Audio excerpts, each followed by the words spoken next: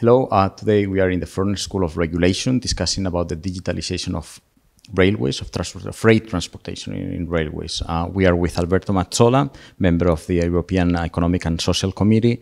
Um, in terms of digitalizing freight transportation in railways, uh, what are the main challenges in terms of investment? Uh, thank you. One important challenge is definitely is the the need to install, for instance, ETCS ERTMS. We started a long time ago, but we are very far away to get into the result, and also to equip the lines with 5G.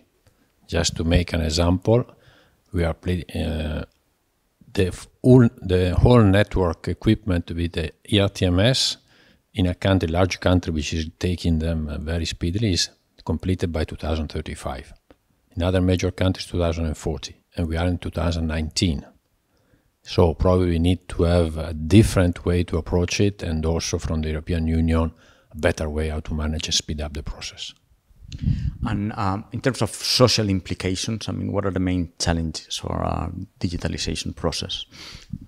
Uh, we recently developed uh, an opinion in the Econo European Economic and Social Committee. I was rapporteur on this, and we have a very deep discussion with uh, trade unions.